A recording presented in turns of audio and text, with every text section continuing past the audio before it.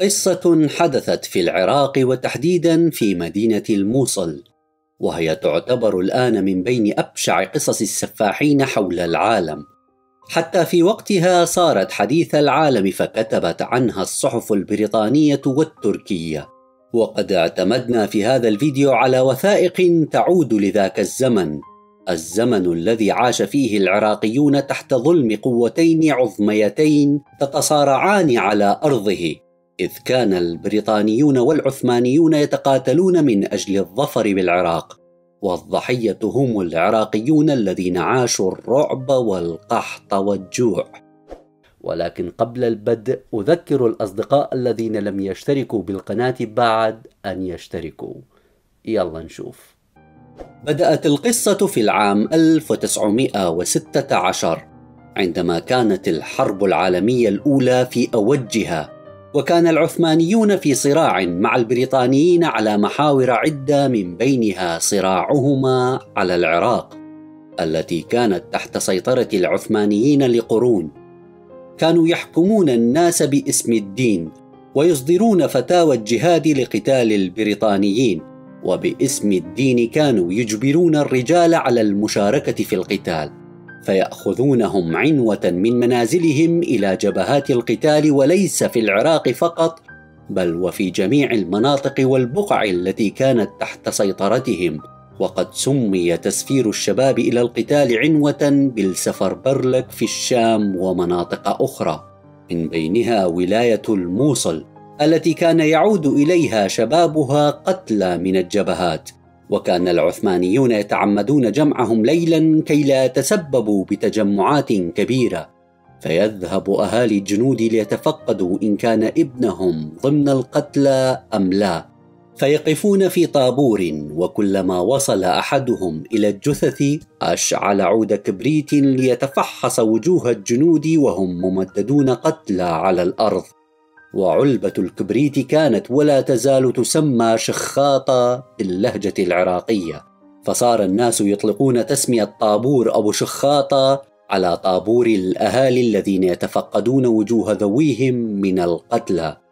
وكعادة الحروب يدخل الناس في مشاكل اقتصادية وقلة في الطعام. وما زاد من فقر الحال هو أن العثمانيين كانوا يفتشون منازل الناس ويأخذون مونتهم من قمح ورز وشعير إلى المقاتلين الذين يدافعون عنهم وعن عرضهم وأرضهم.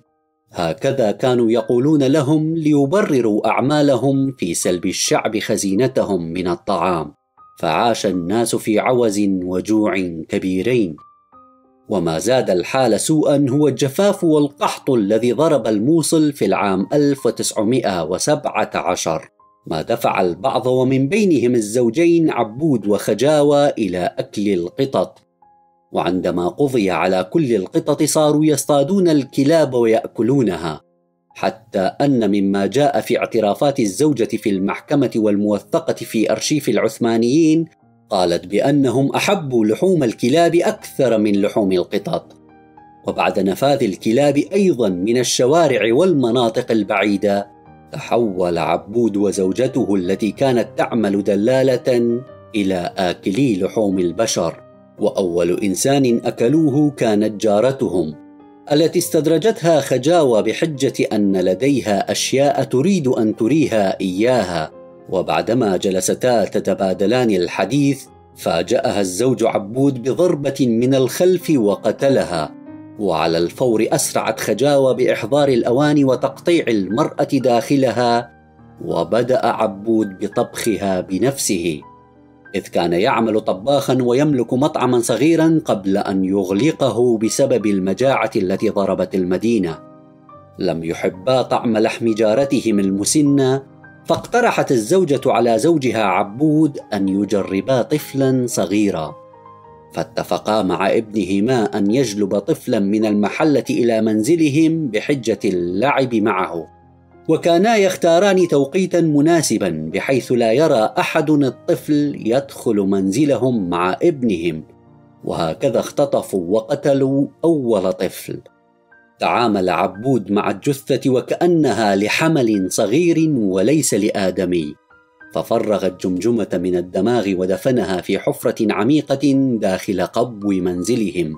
فبيوتات الموصل القديمة تشتهر بوجود الأقبية داخلها ويطلق الموصليون تسمية سرداب على القبو. أعجبت الزوجين الفكرة فكرراها أكثر من مرة. حتى صار عندهم فائض في اللحم ليقرر عبود أن يعود ويفتتح مطعمه الصغير وأن يبيع فيه أكلة القلية التي لا تزال من بين أشهر الأكلات في الموصل. كان الناس يتزاحمون على مطعمه لرخص أسعار الوجبات التي يقدمها فاستمروا على هذا الحال بضعة أشهر بل وتطور عملهم إلى خطف الأطفال من الأحياء الأخرى أيضا. دخل سكان الموصل في رعب من قضية اختفاء الأطفال. وصار الكثير من الأهالي لا يسمحون لأطفالهم باللعب خارج المنزل ولم تستطع الحكومة والجندرمة المحلية أن يحلوا الموضوع حتى انكشف أمرهما أخيرا عن طريق الصدفة. ففي أحد الأيام وأثناء تناول زبون لوجبته في مطعم عبود وقفت في فمه قطعة صغيرة من العظام. وعندما لفظها وجد أمامه اصبعا صغيره وكانت حينها حوادث اختفاء الأطفال في تزايد مستمر. فشعر بالخوف وقرر عدم التحدث إلى عبود بل تبليغ الشرطة لتحري الأمر. وبالفعل داهمت الشرطة منزل عبود ومطعمه ومن خلال تفتيش المنزل عثروا على القبو وبداخله حفرة كبيرة مليئة بالجماجم الصغيرة. وفيما بعد تم تحديد عددها بمئة جمجمة لتسعة وتسعين طفلا وامرأة واحدة. أجروا التحقيقات مع عبود وزوجته وبعدها قدما إلى المحكمة. وأثناء المحاكمة انهارت زوجة عبود واعترفت أمام الحاكم بما اقترفته مع زوجها من فظائع. وقامت في حينها مجلة علمدار التركية والتي كانت تتبع الدولة العثمانية بنشر نص الحوار الذي جرى بين الحاكم وبين خجاوة زوجة عبود وهو موجود باللغة العربية في صندوق الوصف. حكمت المحكمة على عبود وزوجته بالإعدام شنقا لما فعلوه بحق الأطفال ولترويع المجتمع وتم إعلام الناس عبر الصحف والمنشورات بيوم الشنق وطلب من الجميع الحضور لمشاهدة تنفيذ الحكم بحق المدانين.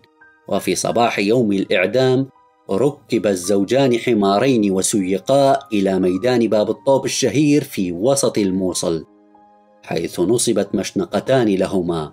وكان جموع الناس المترقبة شنق الثنائي السفاح يبصقون عليهما ويشتمونهما ويضربونهما أثناء مرورهما نحو ساحة المشنقة. وكان عبود صلفا وقحا ولم يبدي أي ندم على فعلته بل ويرد الشتيمة على الناس بمثلها ويضيف عليها شتم الحكومة والدولة العثمانية إذ كان يعتبرها المسؤولة عما حدث. حضر أهالي الأطفال إلى ساحة باب الطوب لمشاهدة الإعدام أيضا. ويحكى أن امرأة كانت تنهش إحدى أصابع قدم الزوجة حتى قطعته من محجره. وصرخت قائلة لقد التهما ثلاثة من أولادي. وبعد إعدامهما فرح الناس وعاد الهدوء تدريجيا إلى الموصل. فصار الناس يثقون أكثر بإخراج أطفالهم إلى الشارع إلا أن أثر القحط والفقر والرعب الذي عاشه الموصليون لا يزال واضحا على ثقافتهم حتى اليوم.